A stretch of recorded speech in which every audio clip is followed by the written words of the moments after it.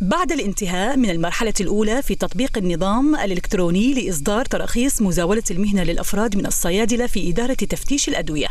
العمل جاري لإنجاز المرحلة الثانية من النظام الإلكتروني لإصدار التراخيص للصيدليات والشركات الأدوية والمستودعات بالإضافة إلى محلات المكملات الغذائية.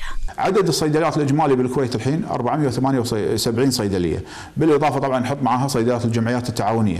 هذيل راح طبعا يتم إدخالهم في الكمبيوتر راح يتم إدخالهم أونلاين راح يتم التعامل أيضا بيننا وبين وزارات الدولة. هذا الشيء هم راح يسهل إنه بدال ما يطلع من عندنا هني يروح يلف على وزارة الشؤون ويروح يلف على آه، التعليم العالي ويروح يلف على وزارة التجارة. والأماكن هذه كلها كلها هني خلص تندز المعاملة مالته هني وترجع لنا هني موقعة خالصة. هذه كانت آه، تاخذ فترات طويلة في السابق، يعني كانت تاخذ من ثمان شهور إلى سنة أحيانا أكثر من سنة آه، عملية التقديم إلى طلب إصدار الترخيص لحين إصدار الترخيص.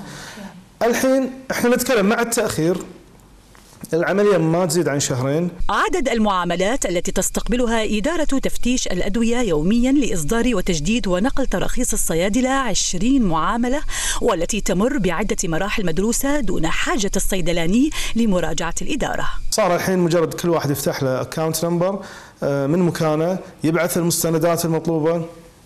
توصلنا هنا بالإدارة ندقق عليها. آه، بعد ما يتم الاعتماد آه، للطلب آه، يتم إرسال رابط لدفع رسوم التراخيص. ومجرد دفع الرسوم يبين عندنا بالنظام إنه دفع الرسوم. نقدر نصدر له الترخيص. طبعا إصدار الترخيص يكون إلكتروني. بالنسبة لتراخيص مزاولة المهنة اللي إحنا الحين اوريدي شغالين فيها تأخذ لها يمكن يوم أو يومين بالكثير يعني.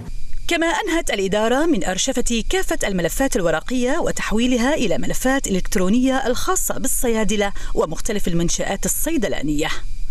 لما أبو علاوي تلفزيون دولة الكويت.